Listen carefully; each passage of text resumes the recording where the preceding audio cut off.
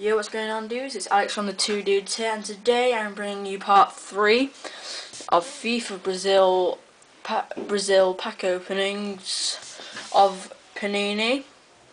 Um, we have got another two packs. I know in my vlog I said I had one, but actually I found some spare money in my uh, school pocket, and I found an extra 50p. My brother picked out these packs, so let's begin. Hopefully we get someone good this time because last time, as you remember, it isn't wasn't the best packs. Uh, in this video, I'll leave a link to the last video, as I did in the first one, but it hurt the head. Alright, so first, let's move that out of the way. We got Luis Starma, so remember, I can't read, Matt Besler, F. F. A. Ambrose, Dimtras Saldias, and Jefferson Montero. So that's the first pack. It was okay, I guess. It wasn't got any like rares, Ronaldo, anything like that. We didn't get any badges. We didn't get a full team. Put them there for now. Oops. Let's open the second pack.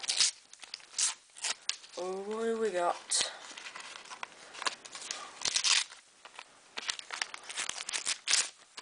Okay.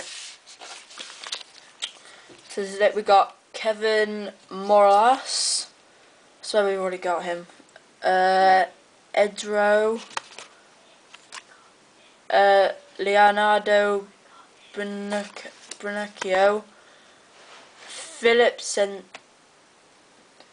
Centaures and half a stadium. So it's pretty good, I guess. As usual, as usual, I am going to uh, pull out the ones that I have got up for trade.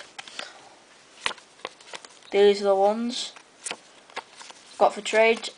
Please, in the comments, put your email in the comments.